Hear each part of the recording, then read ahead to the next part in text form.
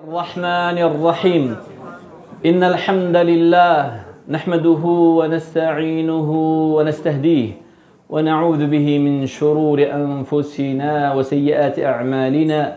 من يهده الله فلا مضل له ومن يضلل فلا هادي له وأشهد أن لا إله إلا الله وحده لا شريك له وأشهد أن محمدا عبده ورسوله. أما بعد السلام عليكم ورحمة الله وبركاته. حجة الوداع بدا بذاهج بعد توفيق الله الله نبي صلى الله عليه وسلم. هجرة أونندا. وفي يوم السبت لأربع بقين من ذي القعدة Zilqiyyədə ayının qurtarmağına 4 gün qalmış həftənin 6-cı günü həc elanı verilir. Allahın Peyğəmbəri sallallahu aleyhi və səlləm həccə çıxır. Yaxşı, ə, həc zilhiccə ayındadır. Bəs niyə belə erkən çıxır? Çünki gecə gündüz yol getmək var. İndiki kimi deyil, aydındır. Həftənin 6-cı günü və Zilqi'də ayının qurtarmağına 4 gün qalmış. Bu xəbəri eşidən hər kəs Mədinəyə axın edir. Və çoxlu insan axını gəlir Mədinəyə. Fətərəccələ və dəhənə və ləbisə izarahu və ridaahu və qallədə budulə. Allah Nəbisi sallallahu aleyhi ve sellem gözəlcə bir şəkildə daranır və bədəninə duhun, yağlar sürtür, müsk və ambar, gözəl ətirlər, izarını, ridasını geyinir və qallədə budunə və qurbanlıq heyvanlarını sürür və zöhrdən sonra yola çıxır. Ta ki Zilhileyfə Mədinə əhlinin hal-hazırda tanınan miqatı Zilhileyfə gəlir. Ora çətəndə asr namazı girməmişdi. Və Allah Nəbisi sallallahu aleyhi ve sellem Mədinədə zöhrü qılıb çıxır. Ora çatanda asr namazı hələm də girməyib. Ümrədə olanlar, Allah xüsus, Mədinədən ümrə edərlər, bilir. Zilhileyfə hal-hazırda Mədinə şəhərinin içindədir. Çünki Mədinə şəhəri böyüdü. Amma o zamanda Zilhileyfə şəhərin artıq qırağında, səhrada bir vadi idi. Və orada Hileyfə ağacı kolu bitirdi. Miqatın da ismi buradan götürülür. Zilhileyfə həmin o kolun ağacın adıdır. Və Allah Nəbisi sallallahu aleyhi və səlləm ora çatanda asırdan qabaq olur. Və ora çatanda orada iki rəkət namaz qılar. Müstəhəb, mütləq namaz. Və orada gecələyir.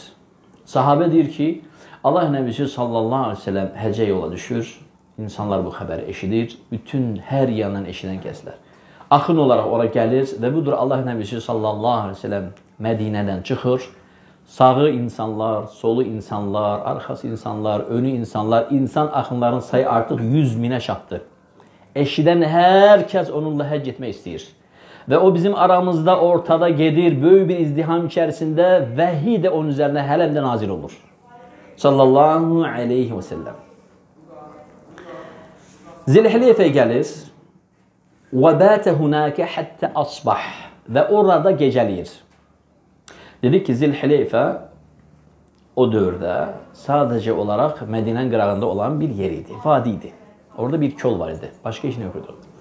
Allah Nəbisi sallallahu aleyhi ve sellem sanki Rabbindən bir qərar gözləyir, bir vəhiy gözləyir.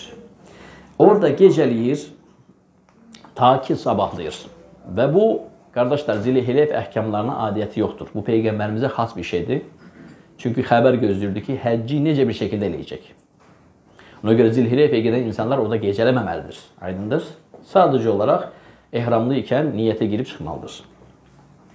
Və nafilə namazı da qılmaq müstəhəbdir. Fələmmə asbah qali ashabi. Elə ki sabahladı, ashabına belə buyurdu. Ətəni leylə ətin. min Rabbi fekal. Salli fi hâzel va'dil mübarek. Geceyken, yatarken Rabbim tərəfindən bir elçi göndərildi. O mənə belə dedi.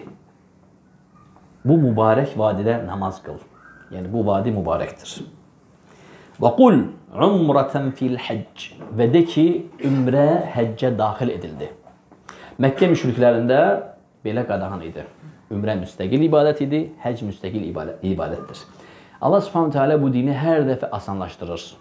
Həccə gedən və heç vaxt ümrə eləməyən insanlar beləliklə həm ümrəni, həm həcci birləşdirə bilirlər. Bu da 3 həcc növünün 2 növüdür. Təməttü və qiran və həcc əhkamları haqqında fiqh dərslərimizi dinləyin. Gecəykən, deməli, yuxudaykən ona vəh edilir. Yuxu vasitəsilə Allah Subhanahu taala tərəfindən bir elçi gəlir və ona deyir ki, "Salli fi hadal vadil mübarək." Həqiqətən bu vadi mübarəkdir. Elə isə sən bu mübarək vadidə namaz qıl. Və de ya Muhammed, umratun fil həcc. Həccin içərisində umra. Yəni lebbeyk Allahumma umratan mutamatti'an aw qarinan ikisindən biri. Bunları birləşdir. Onda Suraq ibn Malik soruşur ki, ya Resulallah, bu yalnız bu il belə olacaq, yoxsa və Allah Nəbisi sallallahu aleyhi və səlləm barmaqlarını bir-birinin içərisinə keçirdərək dedi ki, artıq əbədi olaraq ömrə həccin içərisinə daxil edildi. Yəni, yəni heç vaxt ömrədə olmayan insan həm İslam ümrəsi, o da fərzdir, həm İslam haccını gətirmək istəyəndə həccə gedəndə nə edir? təməttü ya da qiran həcc eləyir. O zaman birinci ümrəni eləyir. Tərviyyə günü girməmişdən qabaq və sonra nə eləyir? Həccə daxil olur. Və Allah Nəbisi sallallahu aleyhi ve sellem hicrətin 10-unda həccə yola düşür. E, və bu haqda İmam Muslimin sahih əsərində Cəbir ibn Abdilləhdən möhtəşəm bir hədis gəlir. Hiccətin Nəbi sallallahu əleyhi və səlləm peyğəmbər sallallahu əleyhi və səlləmin həcci haqqında hədis böyük hədisdir və müəllif o hədisdən bir çox rivayətləri və sünən də həmçinin gələn rivayətlərdə öz əsərində toplamışdı. Onların hamısına qayıdacağıq. Cabirdən soruşur. Sahabə Cabirdən soruşur. Allah Nəbisi sallallahu əleyhi və səlləmin həccini bizə danış. Cabir onda artıq yaşlı idi. Barmaqlarını nə edir? Hamısını toplayır, 9-unu birindən başqa. Və deyir ki, Allah Nəbisi sallallahu aleyhi və səlləm Mədinədə 9 il qaldı, heç həcc etmədi. 9 ildən sonra həcc etdi. Və insanlara elan elədi hicrətin 10-unda. İnsanlar biləndə hər bilən kəs hər tərəfdən axın olaraq gəlməyə başladılar.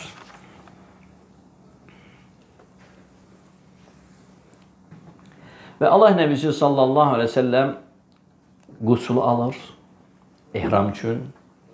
Ümumən qardaşlar, bütün ibadətlərin əvvəli taharətdir. Bütün ibadətlərin əvvəli taharətdir. Ehramdan da qabaq qusul taharətdir.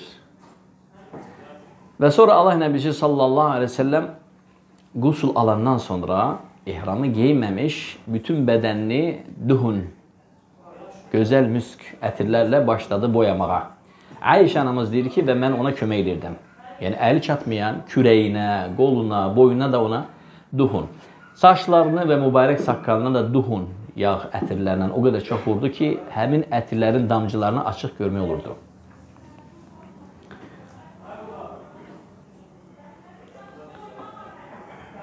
Və deyir ki, Allah Nəbisi sallallahu aleyhi ve sellem izarını taxanda, bədəni axı bu saça bütün yağ ətirlərdir və ridasını taxanda həmin ətirlər üstündən silmədi. Üstündən izar və ridanı giydi. Sonra zöhrü iki rəkat qıldı. Harda Zilhileyfədən. Qardaşlar, Mədinə əhli ümrəyə, həccə çıxanda əgər namazın vaxtı Zilhileyfə çatarsa, onlara ixtiyar yoxdur namazı beləçinə qısaltmağa. Niyə görə? Çünki Mədinə şəhəri hal-hazırda o qədər böyüyüb ki, Zilhileyfə şəhərin içinə girir. Amma Allah Nəbisi sallallahu əleyhi və səlləmin dövründə Zilhileyfə səhra idi. Bir kolun, Hileyfə kolunun bitən bir yeri şəhərdən qıraq bir yerdə. Artıq səfər başlayıb. Səfər də əhkamlarını bilirsiniz. Elə ki, şəhərin binalarını kürəyin arxasında qoydun və şəhər yoxa çıxdı, artıq yəni səfər əhkamları işləməyə başlayır. Bu etibarla Allah Nəbisi sallallahu əleyhi və səlləm Züleyheleyfədə zöhrü qısaldır, iki qılır. Amma Mədinədə yaşayan insanlar zöhrün vaxtı ora girəndə, ya da asrın vaxtı girəndə ixtiyarları yoxdur. Mədinə əhlinə aiddir. Qısaltmaq. Çünki şəhər böyük və Zilhileyfə Mədinənin içindədir hal-hazırda. Və bilirsiniz ki, Peyğəmbər sallallahu əleyhi və səlləmin məscidindən Zilhileyfəyə avtobusla təqribən 20 dəqiqəlik yoldur. Qısa bir yoldur. Ona görə Allah Nəbisi sallallahu əleyhi və səlləm dəvəsi ilə ora çatanda zöhrdən çıxandan sonra hələm də asır girməmişdi. Çünki məsafə çox qısa məsafədir. Və Allah Nəbisi sallallahu əleyhi və səlləm ümrəyə əvvəlcə niyyət eləyir və qiran həcc növünü seçir. Niyə görə? Çünki özü ilə heyvanlar sürmüşdü. Heyvanları sürdüyünə görə təməttü həcci edə bilməz. Təməttü həccini kim eləyir? Kim özündən ora heyvan daşımayıbsa. Və sonra Qasvaya mindi. Qasva onun dəvəsidir. Sallallahu aleyhi ve sellemin minidir.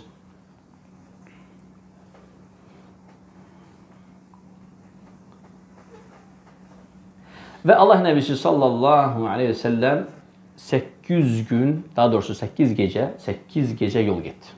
Ona görə Rabi üzr istəyirəm, Zilqədənin axırıncı günlərinə çıxma səbəbi buydu. Çünki ora çatanda 8-ci gün girməmişdən qabaq ora rahat çatmalıdır ki, ümrəni tez eləsin ki, tərbiyə gün girməmiş. Bu etibarla Allah Nəbisi sallallahu aleyhi və səlləm ehtiyatını götürmüşdü və burada da qardaşlar bir fayda var. Biz bunun şahid olmuşuq Mədinədə oxuyan müddətdə. Bəzi həclərimiz, xüsus iş adamları, Allah qardaşlarının kömək olsun və onlara hidayət versin məsələdə xüsus. Adam tərəddüd edir, gedim, gedim, gedim həccə, gedim və götürür Arafa günü təyyarə ilə gəlir. Cəmaat Arafada bu hələm təyyarə, hələm ciddədə. Nəticədə həcc, izdiham nə baş verir? Adam Arafaya çatanda artıq günəş batıb. Baxın Allah Nəbisi sallallahu əleyhi və səlləmdə hətta bu məsələdə bizim üçün dərs var. Həcc vaxtı Zilhiccədə. Mədinədən hava çıxır. Ondan qabaqki ayın axırında. Həftənin 6-cı gün ayın bitməsinə 4 gün qalmış.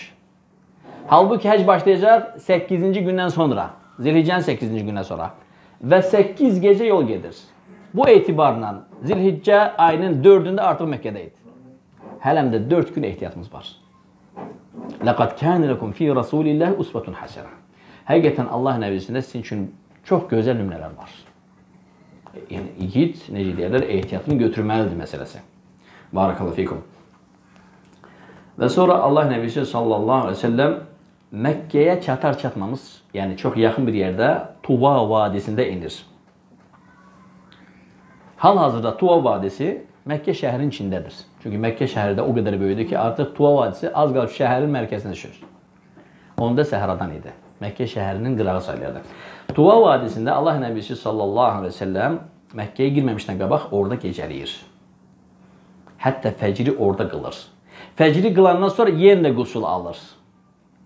Bəzi alimlər güman etdilər ki, bu ikinci qusulda müstəhəbdir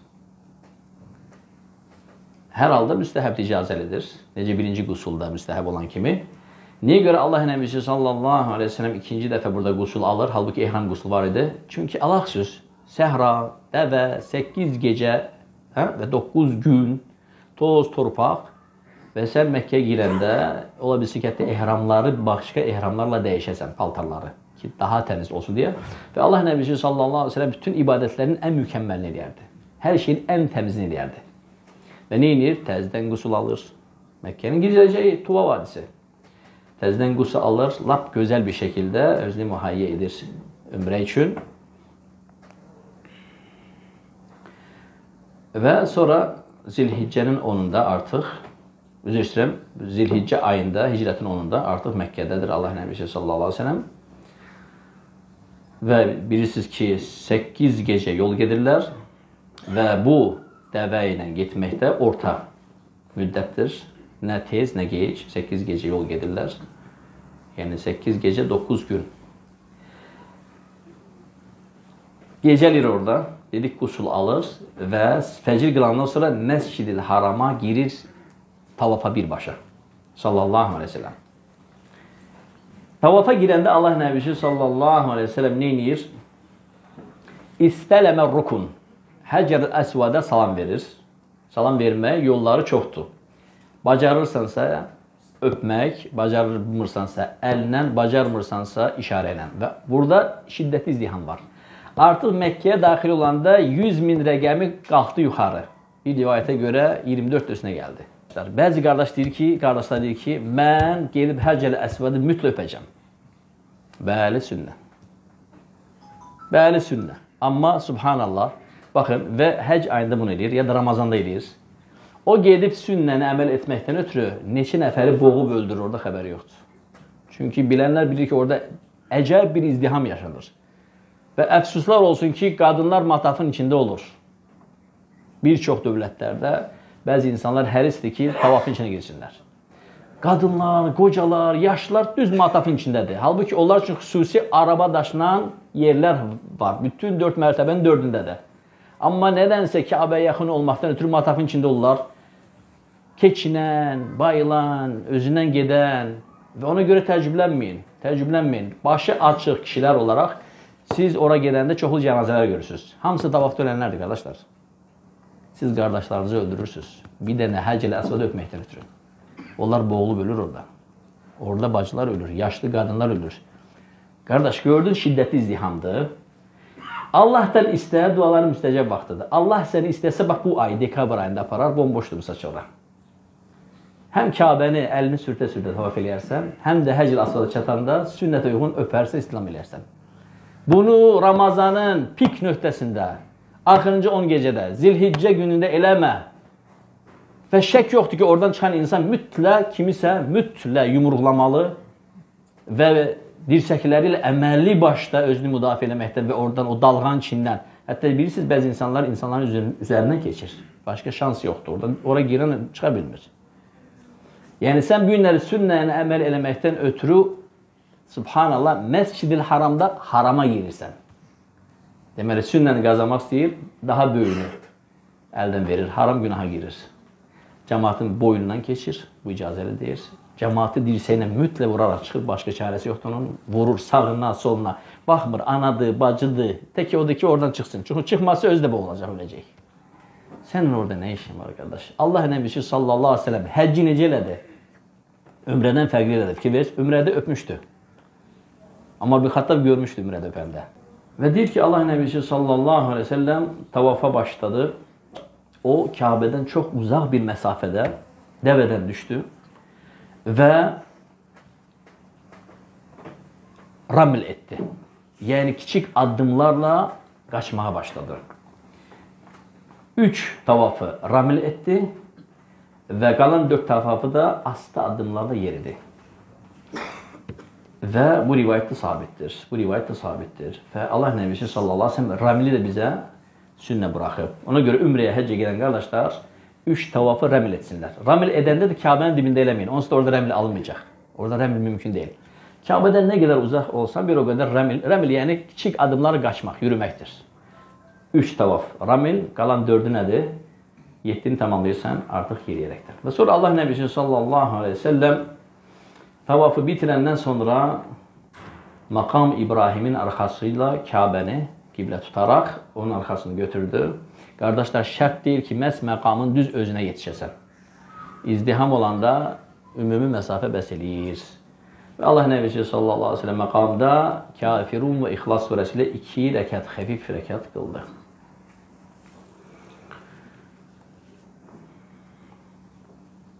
فدخل المسجد الحرام طاف بالبيت وسعى بين الصفا والمروة. Sonra müəllif deyir ki və sonra yəni e, evi tavaf edəndən sonra Safa və Mərva arasında neynədir? Səyə başladı. Buna və sə'a beynə Safa və Mərva. Allah Nəbisi sallallahu aleyhi ve sellem Safa dağının üzərinə çıxanda, diqqət edin qardaşlar, öz xatalarımızı burada görək, ümrə və həc xatalarımızı. Safa təpəciyinin üzərinə çıxanda üzünü Kəbə istiqamətinə yönəltdi və bu ayətlə başladı. Qavlullah Teala İnne safa vel mervete min şa'airillah. فمن حج البيت أو يعتمر فلا جناح عليه أن يطوف بهما ومن تطوع فإن الله شاكر عليم. Bu ayeti okuyandan sonra bu kelimeleri dedi. Ebde'u bima bede'allahu bih. Allahu Teala başladığı yerden de ben başlayıram. İnne safa. Hardan başladı? Safa kelimesinden. Yani tavafı safa, safadan başlayıram. Ve bu kelimelerden sonra helem de başlamadı tavafa kardeşler. Ve nedir? Allah Nebisi sallallahu aleyhi ve sellem tekbir elədi. Allahu akbar. La ilahe illallah vahdehu la şerike leh. Elhamdülillahi vahde. Enceze va'de. Ve nasar abde. Ve hazemel ahzabe vahde. La ilahe illallah vahdehu la şerike leh. Üç defa bu duanı. Üç defa tehlil la ilahe illallah. Üç defa bu duanı tamamı. Diyenden sonra əllərini Kəbə istiqamətində açıb bol-bol dua elədi. Bu köbut xatalardandır. Qardaş gedir ora, safanın üzərində sanki gözün üzərində durub. Duran kimi qaçır səy eləməyə. Qardaş, birinci duanın müstəcəl olan yerlərindən də biri Safada üzü Kəbə istiqamətində burada duaların müstəcəb olan yeridir. Dəlil nədir? Rasulullah sallallahu əleyhi və səlləm buranın duanı etməyə sünnə qoymasıdır. Bax bura çatanda sonra əllərini açır, Kəbə istiqamətində durur və Allah Nəbisi sallallahu əleyhi və səlləm orada dua edir. Və Safa ilə Mərva arasında səbət əşvatın, 7 şovt, 7 tavaf, yəni tavaf nə üçün deyilir? Çünki yenə də o dönmə formasını verir. Baxma ki, düz şəkildə olsa. Və Safa ilə Mərva arasında vadi var. Həcər anamızın su axtarışı zamanı sürətini artırdığı, qaçdığı yer. O yerə çatanda, o vadiyə çatanda Allah Nəbisi sallallahu əleyhi və səlləm iqtidaən həmin yerdə başladı yürüməyə. Alimlərin burada fuqahaların görüşü müxtəlifdir. Biz seçdiyimiz görüş, alimlər görüşlər arasında qadınlar eləməsə yaxşıdır. Yalnız kişilər. Nəyə görə ixtilaf var? Deyirlər ki, zaten iqtida Həcəradır. Həcər də qadın idi. Məhz qadın burada qaçıb. Dedilər, bəli, iqtida onadır. Amma şəri əhkamlar biraz fərqlidir bizdə. Niyə görə? Çünki qadının qaçması, Allah xüsusən orada izdihamda kişilər, qadınlar hamısı bir yerdə olurlar. Qadın qaçması daha uyğun deyil, hətta evratı heç açılmasın deyə qadın öz normal addımlarla yenə də oradan keçir, vadidən keçir, qaçmır. Amma kişilər üçün qaçmaq sünnədir. Həmin vadiyə çatanda inşallah qaçmaq lazımdır.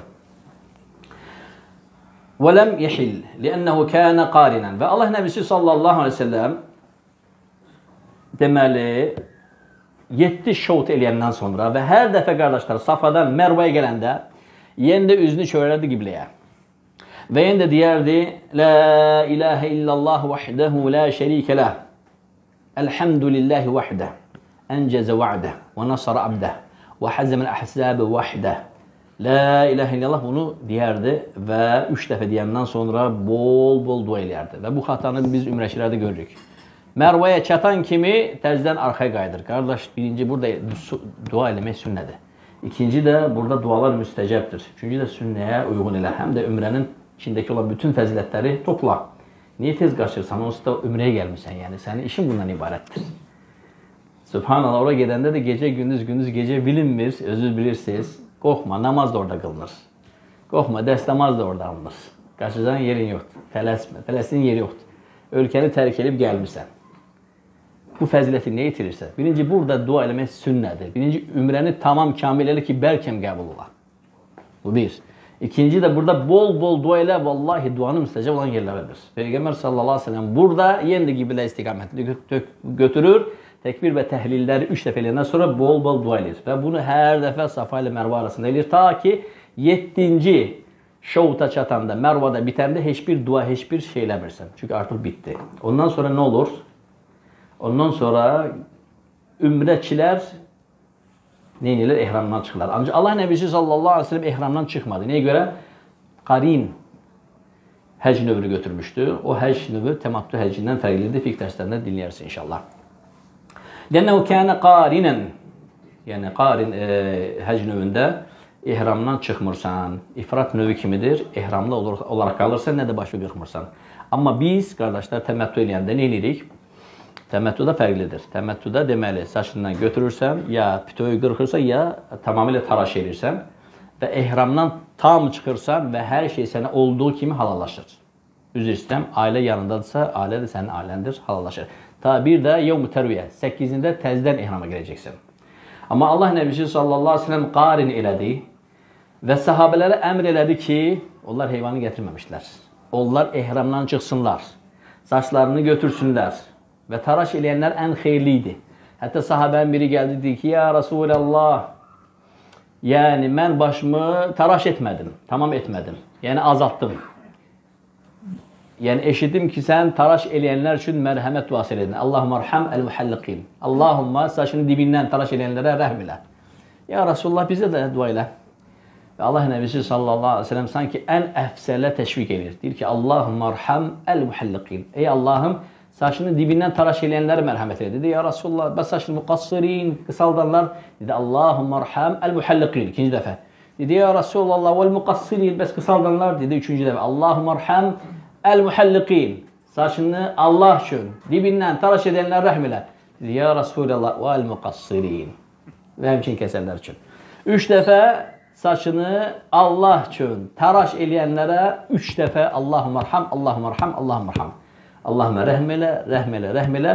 Amma saçını qısaldın. Qardaşlar, nə üçün? Çünki bilirsiniz ki, saç insanın yaraşıqdır. Bunu hamı bilir. Ələxsus saçları gözəl olanlar. Ələxsus gənclər. Göstər ki, filan kəs və behman kəs yox. Lillah vahidil əhər sənin üçün hamıdan əzizdir. Bunu göstər.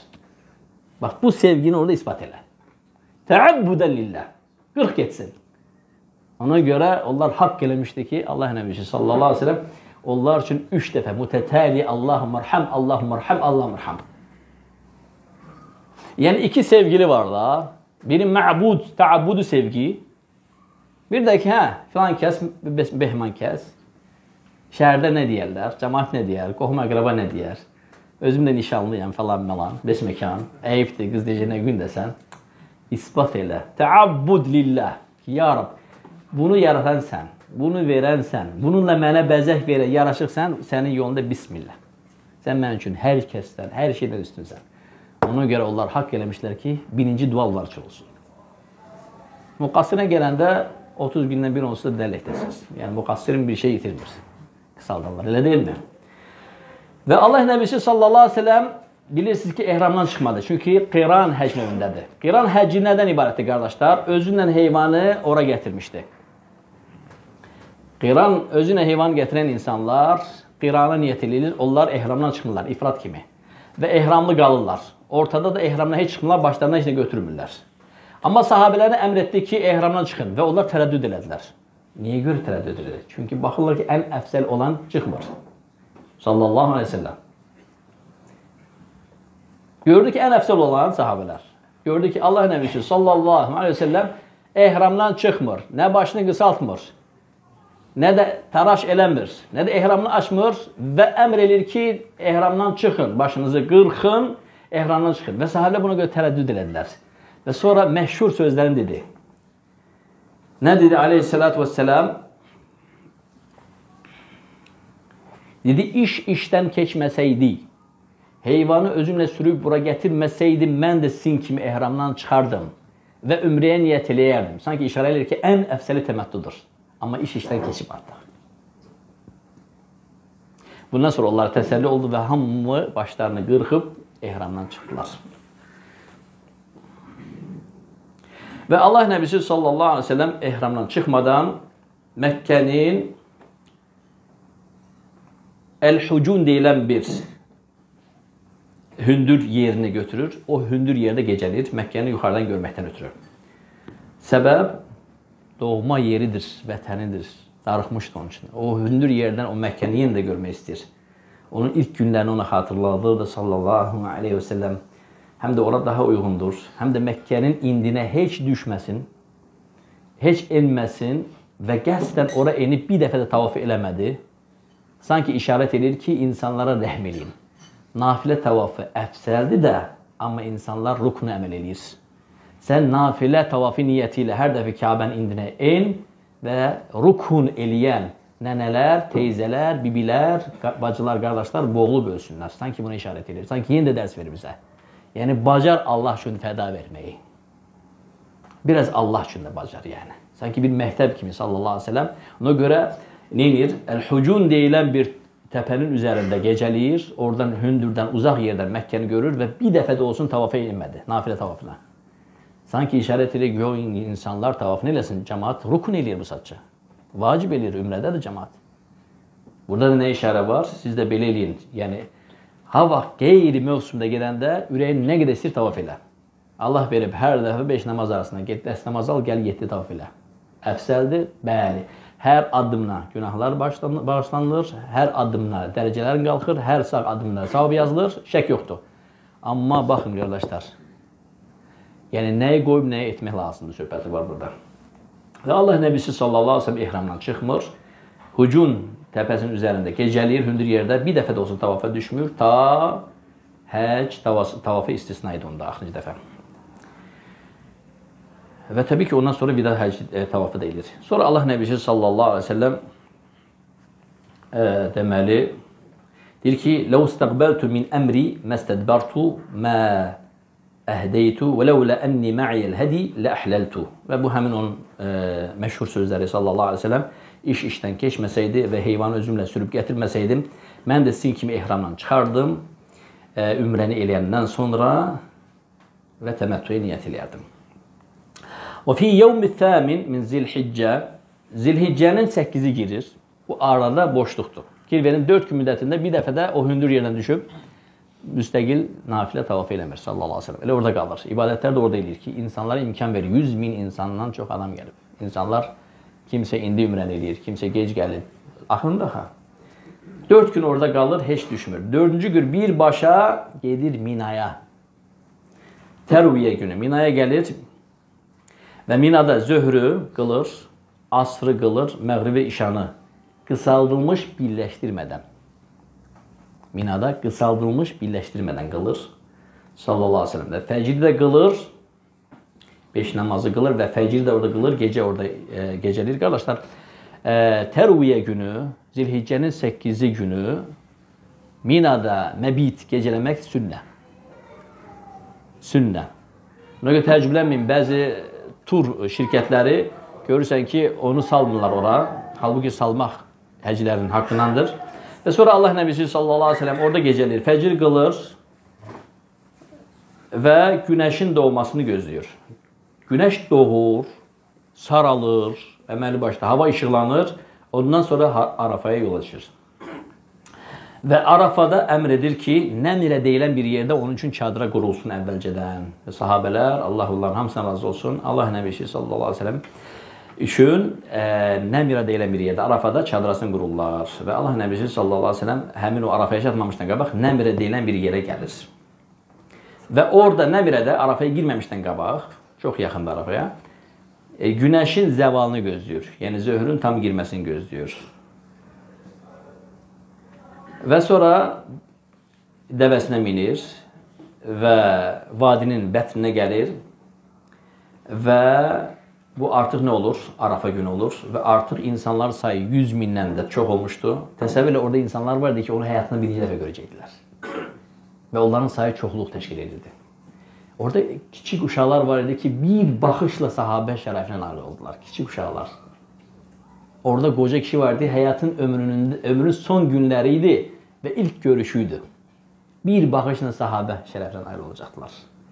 Və onlar hamısı Allah Nəbisi sallallahu əleyhi və səlləmi görmək şövki ilə hamısı ora yığışdı Arafada. Və Allah Nəbisi sallallahu əleyhi və səlləm Mövqif deyilən bir yer var. Arafada bir dağ, dağ kimi bir yer gördünüz. Sıldırım belə qayalardan. Üstündə də ağ belə bir e, işarə qoyublar. Ora mövqif deyilir. Allah Nəbisi sallallahu əleyhi və səlləm həmin o hündür yerə qalxdı və qayaları kürək arxasına qoydu. Dəvənin də kəndirini əlinə bağladı möhkəm bir şəkildə. Dəvə də onun yanında yuxarıda. Və orada o Arafanın son vaxtlarında dua elədi. Bundan qabaq Allah Nəbisi sallallahu əleyhi və səlləm namazı qılmamışdan qabaq ora qalxdı və məşhur vəda xutbəsini verdi. O xutbəni inşallah sonra dinləyəcəyik. Hələ ki müxtəsər deyim orada necə sözlər oldu. Deməli, Allah Nəbisi sallallahu aleyhi ve sellem Arafada, çox hündür bir yerdə, məvqif deyilən bir yerdə, e, dəvənin üzərində bu sözləri dedi. Eyyuhən nəs, isma'u qavli, fə inni la ədri, ləalli la əlqakum bə'də ami həzə, bihədəl məvqifi əbədə.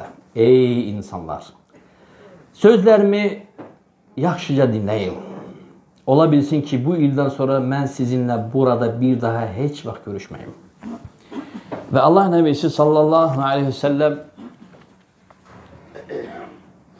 həcə yola düşməmişdən qabaq Muazı İbn Cəbəli Yəmənə göndərir. Hədisi bilirsiniz. Sənin yanında kitab əhli gələcək.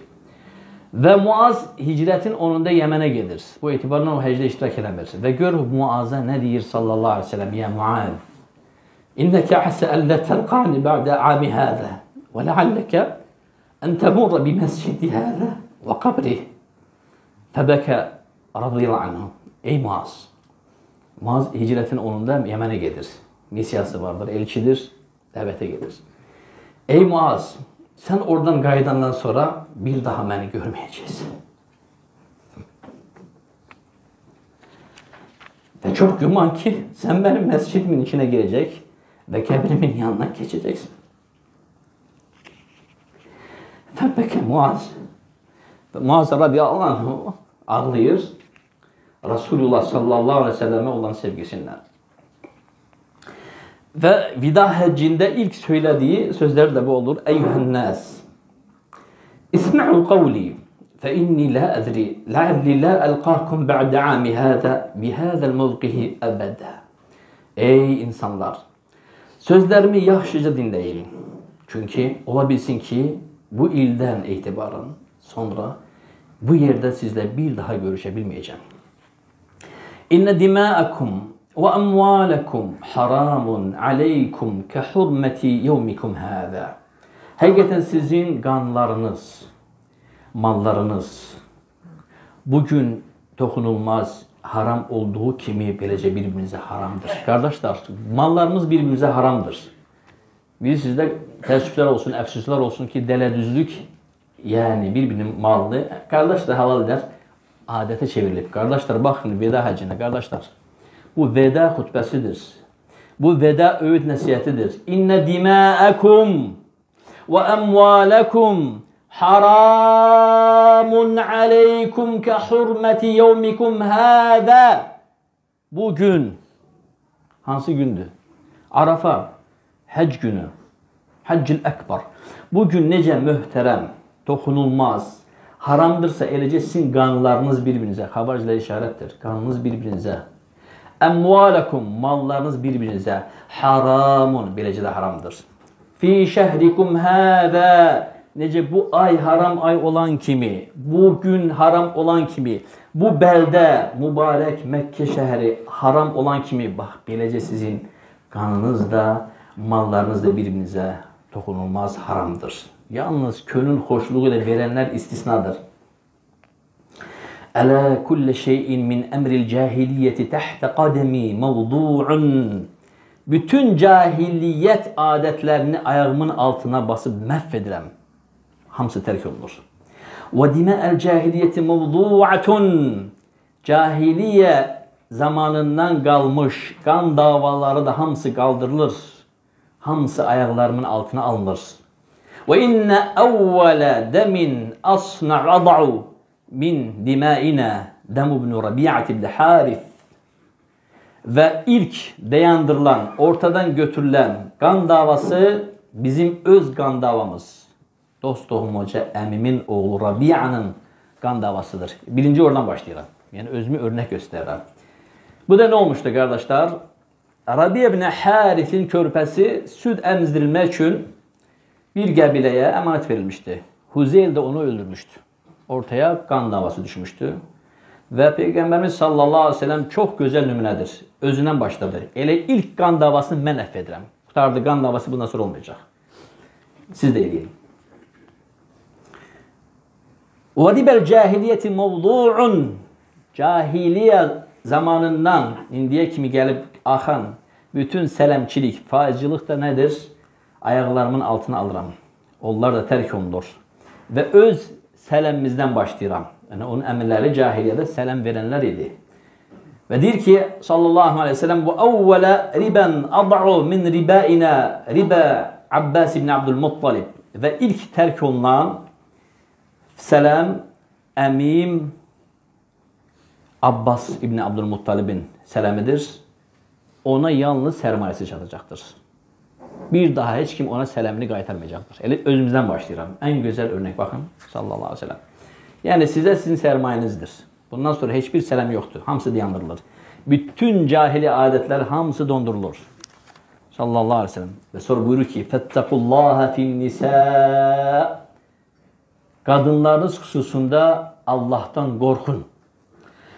فإنكم أخذتموهن بأمانة الله واستحللتم فروجهن بكلمة الله Siz onları Allahu Teala'nın kelimesiyle amanet olarak götürmüşsünüz. Onlar sizin yanınızda Allah'ın kelimesiyle, tevhid kelimesiyle sizin yanınızda emanetti. Yani cemaat kız böyüdür.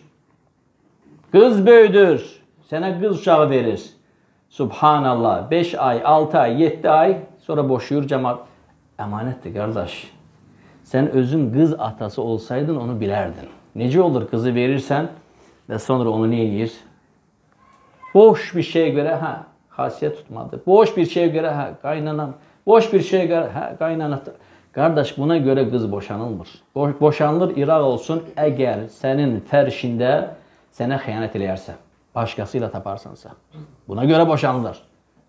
Amma belə boş-boş şeylər ki, onu yola vermək olur, islah eləmək yolu var. Asanlıqla belə. Yəni insan qız böyüdür. 18, 19 verir və sonra nə edir? Bütün bir qızın həyatını məhv edir. Hətta ola bilsin ki, o qız uşağı dünyaya gətirir uşaq. Və ola bilsin ki, hətta qarnında uşaqla belə onu boşuyur bəziləri. Və ola bilsin ki, hətta uşaq gəlib atasının evində doğur ondan sonra iddəti qutarır və ona haram olur. Qardaşlar, bunlar əmanətdir. Cəmaatın qızı ümmətin namusudur. Onlar da bizim qardaşlarımızdır, o da onların qızlarıdır. Elə bir ki, bizim balamızdır. Sizdən bir qız atası kimi hansı biriniz bunu özünə qıyar? Mən indi Nassa qaydıram. Fəttəqullaha fin-nisə qadınlar xüsusunda Allahdan qorxun.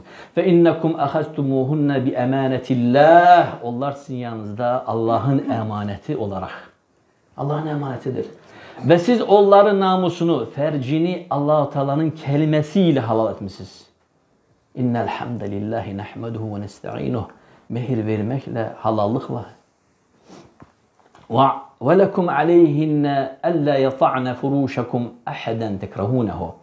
Onların da boynunda vacib olan şeyler vardır.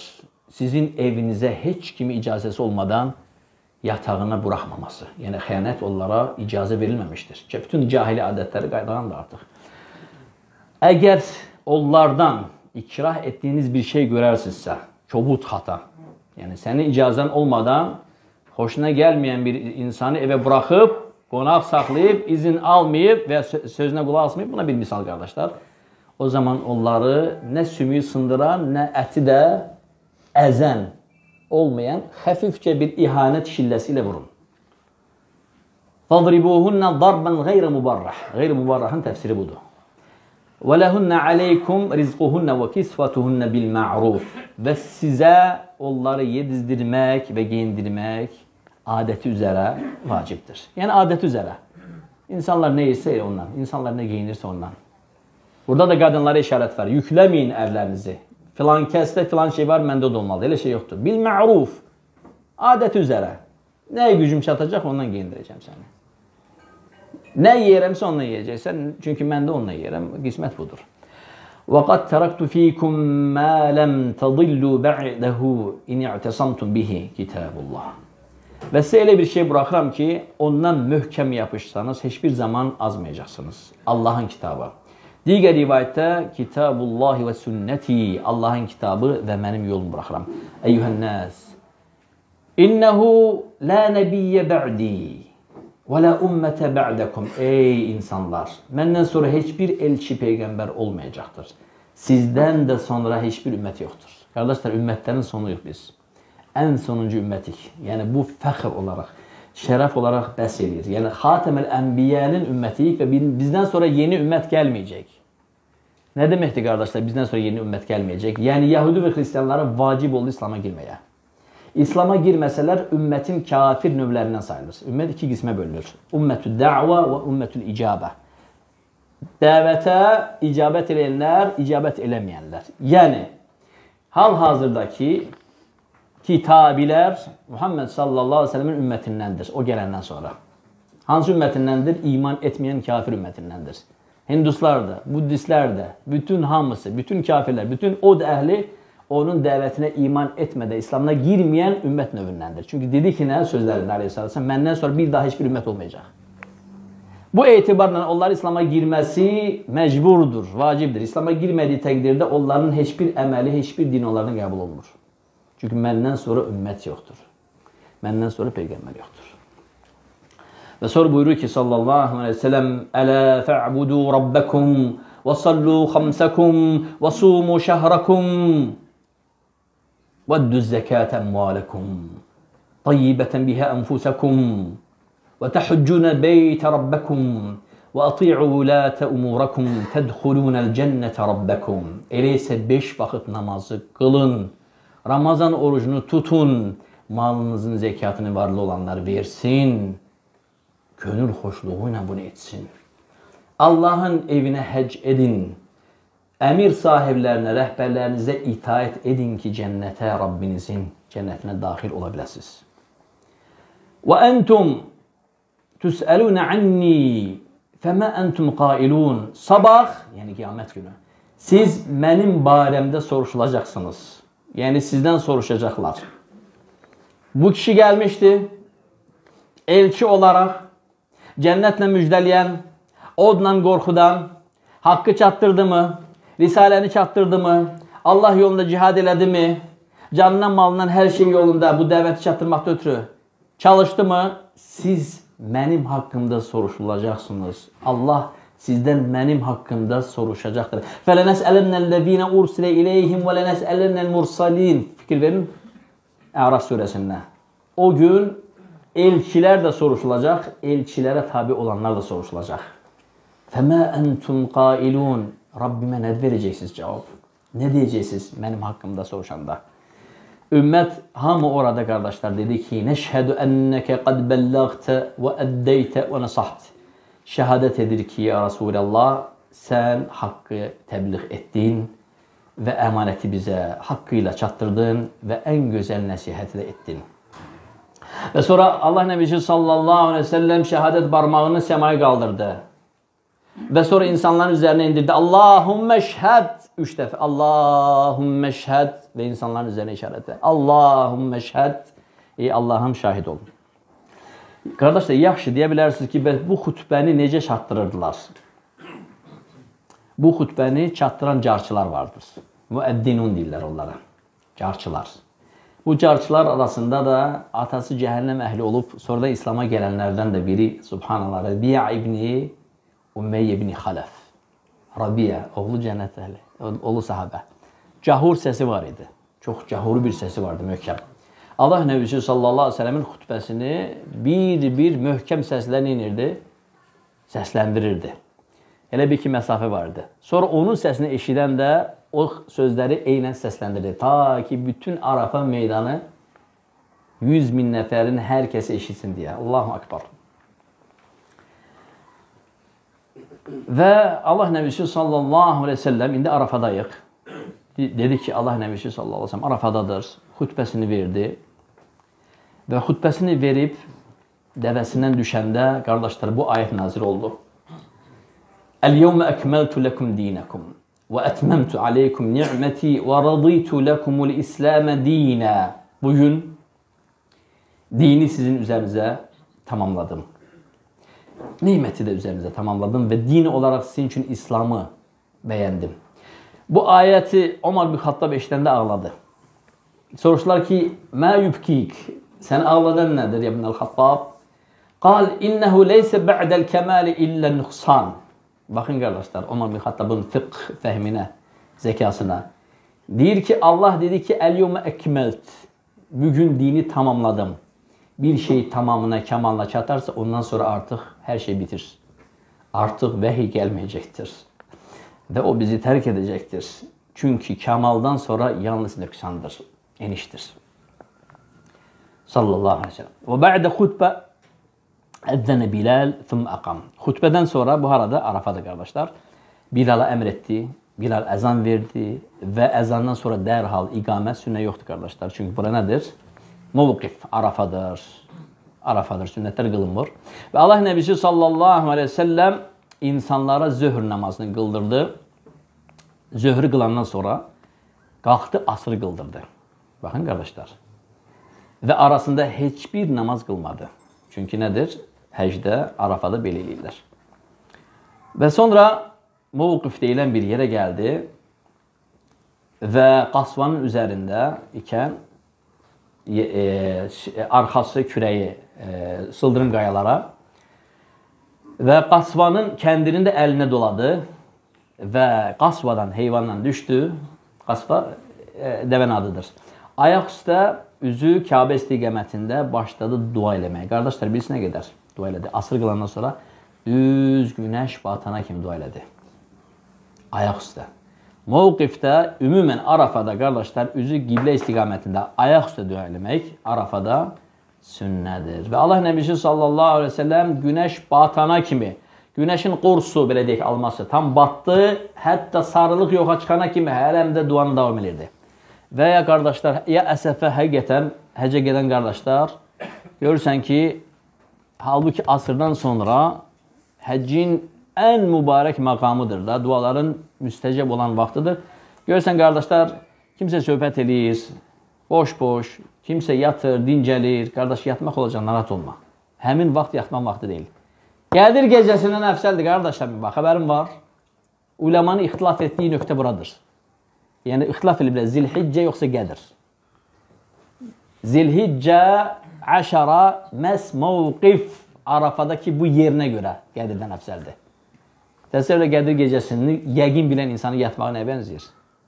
Bax, həmin asırdan məğribə kimi olan o vaxt cümhur uləmaya görə Qədir gecəsindən də əfsəl olan vaxt məsxud odur. Həmin vaxt qardaşlar Allah Subhanahu taala dünya səmasını indir.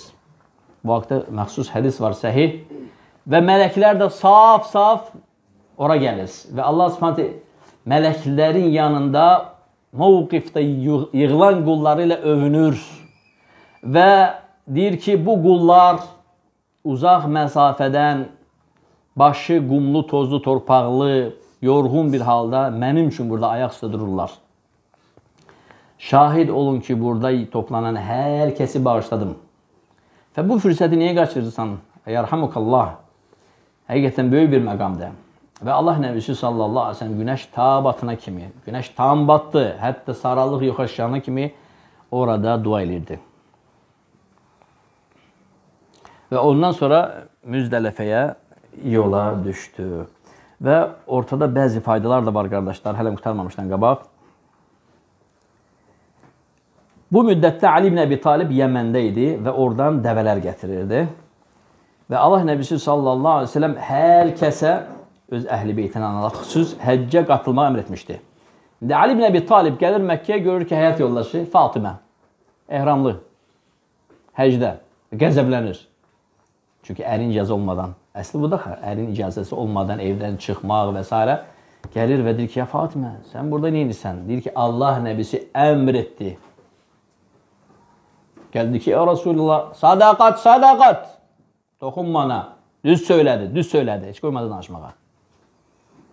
Yəni mən əmr etmişəm ki, o bu həcdə iştirak edəcək. Allahın nəbisinin əmri isə ərin əmrindən müqəddəm, şək yoxdur.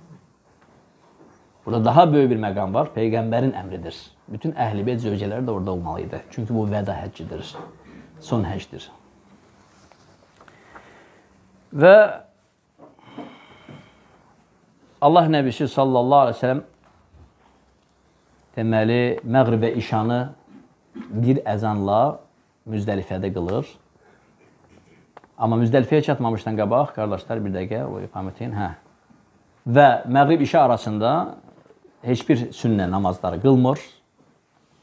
İşan da qısaldılmış şəkildə qılır. Və sonra uzanır fərzdən sonra, işanı qılandan sonra heç bir nafilə etmədən səhərə kimi dincəlir. Vallahi qardaşlar, sizin peyğəmbərinizin taqəti çatır ki, bütün gecəni təhəccüd qılsın. Vallahi buna şək yoxdur. Qəsdən bunu eləmir sallallahu aleyhi ve sellem. Sanki bizə dərs öyrədir. Dərs öyrədir ki, yəni bunu sünnə olaraq məndən götür. Müzdəlifəyə çatanda məğribi qıl, ardıcı iqamə, işanı qıl, yat.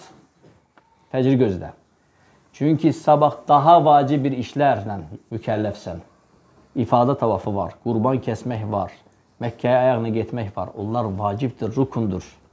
Bütün gecəni yatma, təhəccüd elə, sabahda bunların heç birini eləmə və həc yarımçıq qalsın, batil olsun, boynuna həc kəfarətkisi gəlsən ki, Allah Nəbisi sallallahu aleyhi ve sellem Laqad kana lakum fi rasulillahi uswatun hasana. Sizin üçün peyğəmbərdə ən gözəl nümunələr vardı. Və vallahi istəsəydi səhərə kimi təhəccüd qıla bilərdi. Şək yoxdur ki, bunu edərdi də etsəydi. Və sabah da həmin ərkanları ən mükəmməl şəkildə də əda edəcəkdi. Sanki bizə örnək verir.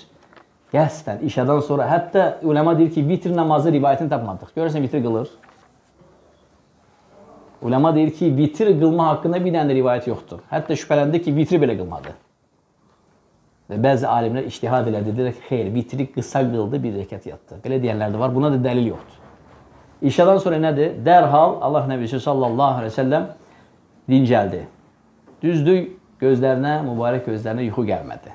Səhərə kimi, amma mübarək kafasının üzərində uzandı belə ta fəcr. Vaxtı gələndə Bilalə əmr etdi, əzan verildi, fəcri qıldı, ilk sünnəti, fəcr istisnalı sünnəti bilirsiniz və fərzi qıldı. Və Məkkə müşriklərinə fərqli olaraq günəşin doğmasını gözmədi. Döz, e, yəni gözləmədi. Birbaşa nə elədi? Fəcr qılan kimi yola düşdü. E, yəni Qasvaya dəvə minib yola düşdü. Və yola düşəndə qardaşlar Batnəl Muhassir deyilən bir yerdən keçəndə Muzdəlifə ilə Məscid Haram arasındadır. Əmr etdi ki, buradan sürətlə keçin. Niyə görə? Fil hadisəsi məhz burada baş vermişdi. Keçən dərslərdə götürdük ki, Allah Nəbisi sallallahu əleyhi və səlləmin sünnətindəndir ki, bəla, əzab gəlmiş yerlərdən qaçmaq, oturmamaq, gecələməmək, hətta suyundan içməmək. Məkkədə də bu hadisə olub. Bu ümmətdən də qabaq Məkkədə bu hadisə olub. Hardadır o? Fil hadisəsi. Muzdəlifə ilə Kəbə arasında Bat əl-Muhassir deyilən bir yerdə Abrahanın fillərinin hadisəsi. Ələm tərə keyfə fəal rabbuka bi ashabil fil. Ora çatanda deyir ki, buradan sürətlə keçin və bütün karvan oradan sürətlə keçir.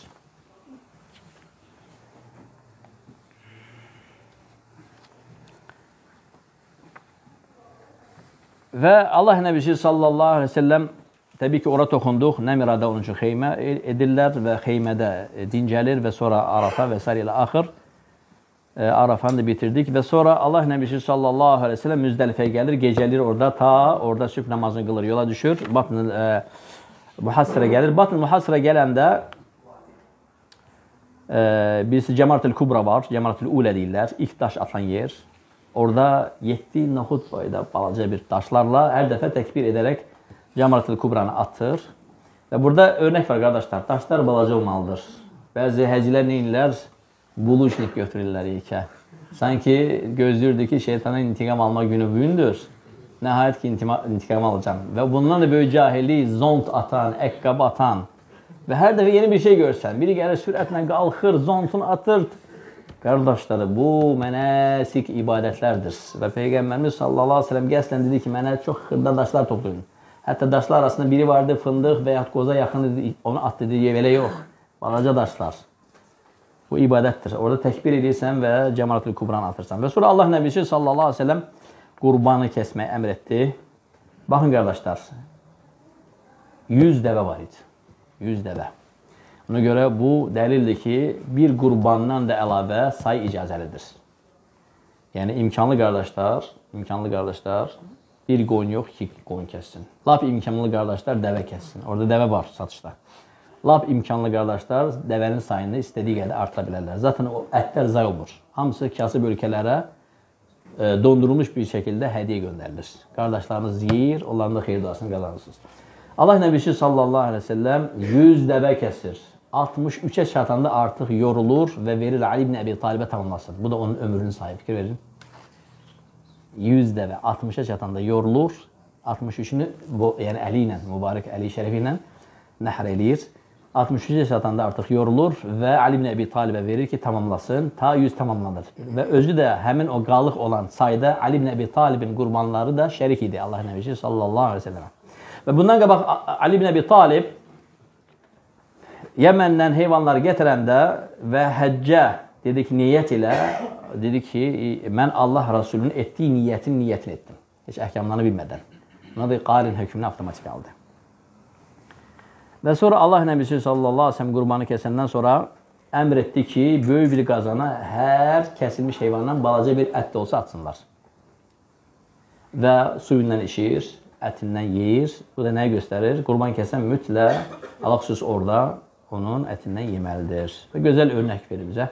Bəzən insanlar nə edir? Hamısını paylayır. Yox qardaşlar, özünə yeməlisən. Sənin də nəfsinin orada haqqı var, çünki o sənin qurbanındır.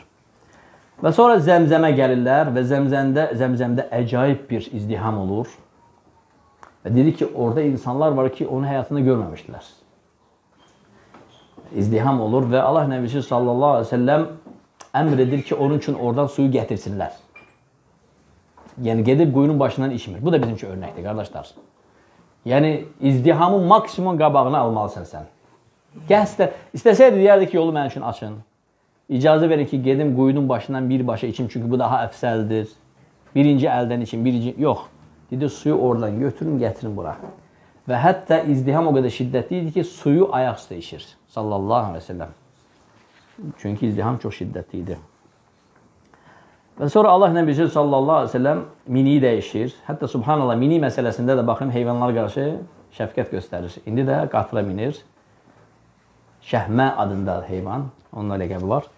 Və nahr günü, yəni bayram günü Zilhiccənin 10-u yenə də xutbə verir.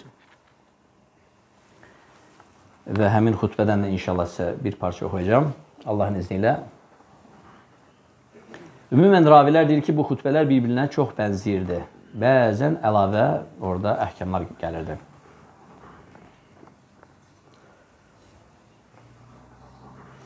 Bu rivayət isə Şeyxan, Əbu, ə, e, İmam Buxari və Muslim rivayət edir. Əbə Bəkrah, Əbu Bakr yox, Əbə Bəkra, yəni Əl-Thaqafi rahimehullah radiyallahu anhu onun rivayətindən deyir ki, Yevmun Nəhr, yəni bayram günü, Zilhiccənin 10-u Allah Nəbisi sallallahu əleyhi və səlləm yenə də xutbə verdi. Yəni bayram günü də xutbə verdi.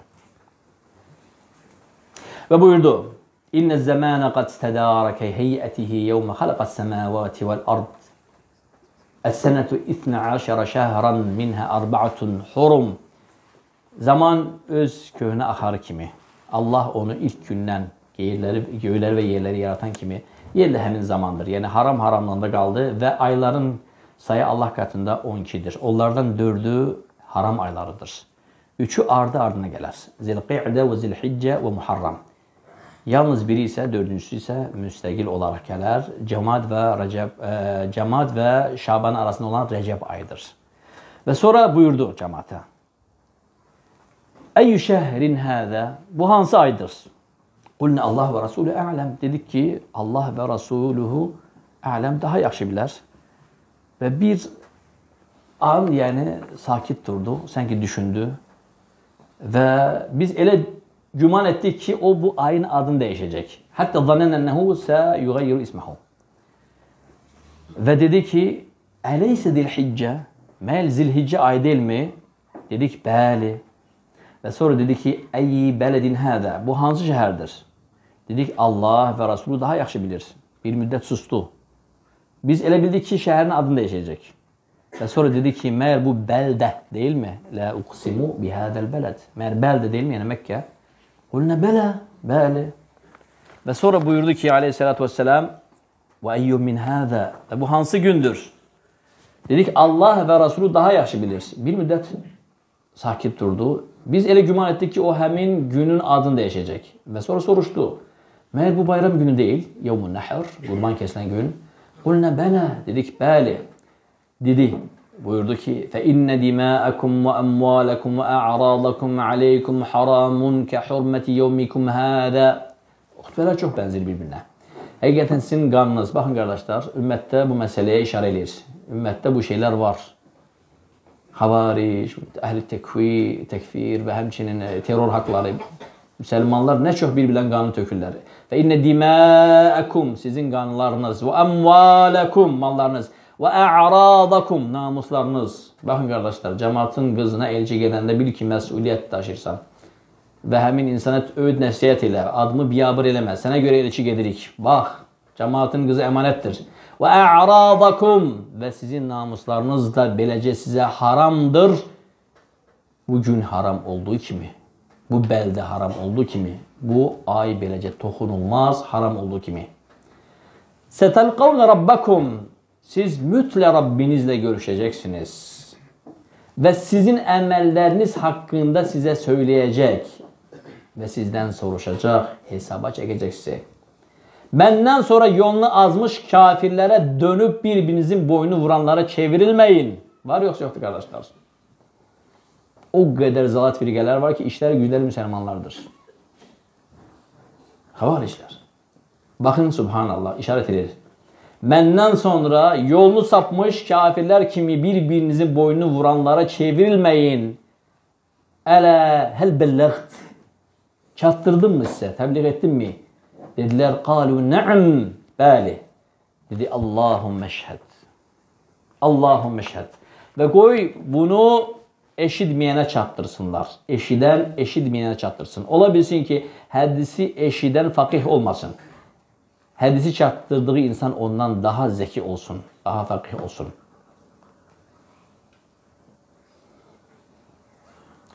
Və digər rivayətdə də qardaşlar, bu İmam Buxari Müslim rivayətidir. Sünəndə gələn rivayətdə isə bu ziyadə də gəlib, o da səhihdir. Buyurur ki, heç bir caninin məsuliyyətini onun övladlar daşımır. Yəni atası adamı öldürüb, gəlib onun uşağını öldürürlər. Cəmaatın uşağına nə işin var sənin? Atasını, yəni hakim haqqı ilə cəzalandıracaqdır. Onun uşağını niyə öldürsən? Heç bir caninin cinayətini uşağı daşımır. Eləcə də qadınlar da həmin şeydir. Götürüb anasını öldürürlər, yaxşı qızını öldürürlər. Caninin cinayətini özü daşıyır, özü. Ələ innə şeytana qad yəisə ən yu'bədə fi bələdikum həzə əbədən. Həqiqətən şeytan bu bəldədə, yəni Əl-Harameyn bəldəsində, Məkkə və Mədinədə ibadət olunmaqdan, yəni bütlərə ibadət olunmaqdan bu bəldə artıq nədir? Şeytan bu işdən ümidini kəsdi. Yalnız ümidi nəyədir? Sizin bəzi çox da ciddiyə almadığınız bir şeylər, çox şeylər var ki, onunla onu razı qoyacaqsınız. Var yoxsa yoxdur qardaşlar? Elhamdülillah Əl-Cəzirə, Məkkə, Mədinə tövhid diyarıdır. Allahdan başqası ibadət olunmur. Və bütlər orada yoxdur. Amma baxın, başqa günahlar var və bu işarə burada var idi. Bu da Peyğəmbər sallallahu aleyhi ve sellemin vəhi möcüzələrindən idi. Və sonra ravi edir ki, və Allah Nəbisi sallallahu aleyhi ve sellem Minada 3 gecə gecələdi və hətta gəlib ki, orada da xütbə verdi və həc əhkamlarını öyrədirdi, sünəni milləti İbrahimi öyrədirdi və şirkin əlamətlərini aradan qaldırırdı, tövhidi yayırdı. Və Sünən Əbu Davudda Həsən dərəcəsinə gəlib ki, bəli, o xutbəni orada eyni mislində yenə də dedi, təşrik günlərində və buyurdu ki, Xatabana Rasulullah sallallahu əleyhi və səlləm yemur ruus və qala: "Əleysə hada awsat ayyam təşriq?"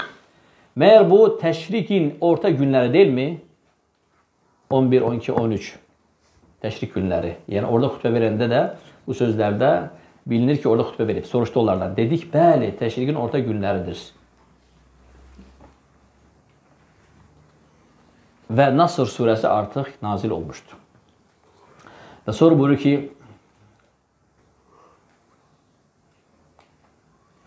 və Minadan bitəndən sonra Allah Nəbisi sallallahu aleyhi ve sellem e, deməli orada gecələyir. Zöhrü, asrı, məğribi işan orada qılır. Və biraz dincəlir. Ondan sonra gəlir Məscid-i Harama, Kabəyə. Baxın qardaşlar, veda tavafını ən axıra saxlamaq sünnədir. Dincəlməyi bundan qabaq elədik, gördünüz? Məscid-i Harama gəlir. Deməli, iki dəfə tavaf oldu onda cəmi cümlətənə. Birinci nə idi? Tavaf-ı ifada, farz olan, rukun olan. İkinci də veda tavafı və veda tavafını eləyir. Bu veda tavafı həcdə olan hər kəsə fərzdir, ümrədə ixtilaf ediblər. alimlərimiz. Veda tavafını edir və ashabına da veda tavafını eləməyi əmr eləyir. Və sonra Allah Nəbisi sallallahu aleyhi və səlləm veda tavafından sonra heç yubanmır. Heç orada dincəlmədən Məscid-i Haramı tərk eləyir. Və Mədinəyə yola düşür. Və istəyərdim bu xütbələrin mücməl formasını Azərbaycan dilinə tərcümə olmuş variantını sizə oxuyum. Bunların biri Arafada verildi. Biri Nəhr, qurban kəsilən gün verildi və digəri də təşrik günlərində verildi. Ümumi mücməl toplam xütbələrin mənası budur. Ey insanlar, məni dinləyin. Bəlkə sizinlə burada bir daha görüşə bilmədim.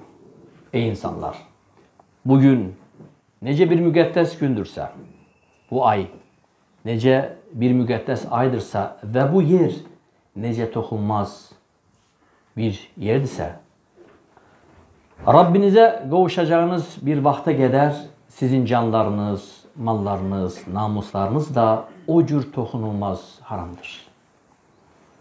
Hər birinizin malı və qanı bir-birinizə haramdır. Qiyamət günü Rabbinizin huzuruna çıxaracaqsınız. O da sizdən nə etdiklərinizi bir-bir soruşacaqdır və ona görə mükafat və cəza verəcəkdir ehtiyatlı olun. Məndən sonra bir-birinizin boynunuzu vuran kafirlərə çevrilməyin. Özündə bir əmanət saxlayan adam bu əmanəti sahibinə verməlidir. İslamdan öncə olan bütün cahili adətlərini ayaqlarımın altına alıb əzirəm. Bir ərəbin ərəb olmayandan bir başqasının da ərəbdən heç bir üstünlüyü yoxdur. Digər rivayətdə yalnız təqva ilə. Çünki bütün insanlar Adəm övladları, Adəm də torpaqdandır. Ey insanlar, sözlərimi yaxşıca dinləyin və yadda saxlayın. Hər bir müsəlman digər müsəlmanın qardaşıdır. Bütün möminlər qardaşdır. Bir kimsəyə qardaşının malı könül razılığı ilə verilməli könül razılıq ilə verilmədiyi təqdirdə halal deyildir. Özünüzə zülm etməyin. Cahiliyyət adətlərini ayaqlarım altına alıb məhv edirəm. Bütün qan davalara tamamilə qaldırılmışdır. Və ortadan qaldırılan ilk qan davası da Abdülmuttalib övladlarından Rabiyə ibn Harisin qanıdır. Hər cür sələm faizçılıq ortadan götürülmüşdür. Və ortadan götürülən ilk faiz da bizim öz Abdülmuttalib övladlarının Abbasın sələmidir. Sərmayeniz yalnız sizindir.